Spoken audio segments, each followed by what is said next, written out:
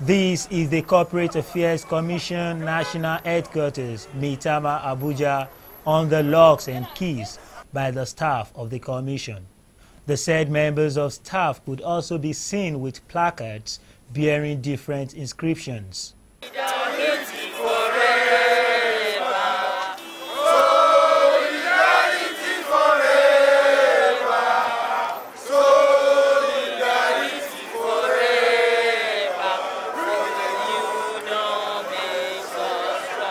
When speaking with our crew, the chairman of the Amalgamated Union of Public Corporations, Civil Service, Technical and Recreational Services Employees, AUPCTRE, of the Commission, Ibrahim Karfi, analyzed the reasons for the move.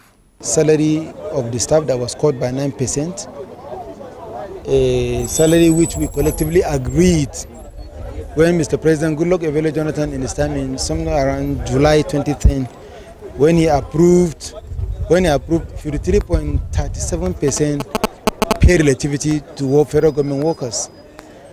At the point of our negotiation, knowing fully well that we don't receive grant from federal government, we have to do something that is sustainable.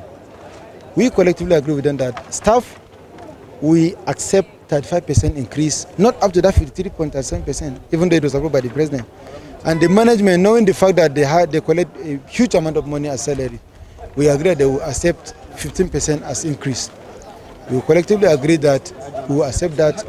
Two more than two years into implementation, the management connived with the Salaries and Wages Commission and reduced our own by 9% while increased their own by 11%.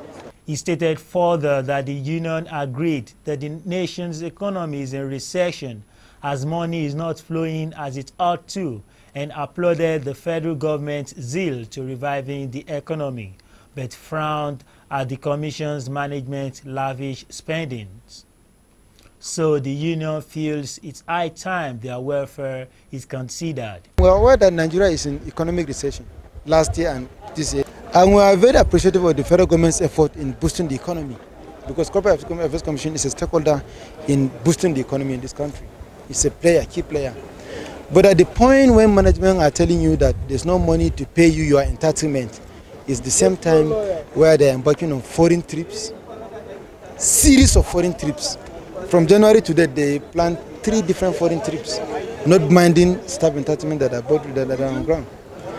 They paid some contracts, frivolous contract that may bring kickback to them, and we process those things. We see these things all our demand was that we know the economy is not like before and money is not coming the way it was before. All we were asking for is show some commitment. Out of close to 1,500 staff, pay even five staff. If we pay even five staff, we will have the feeling that yes, there's commitment from the side of the management. That is what they are not willing to do.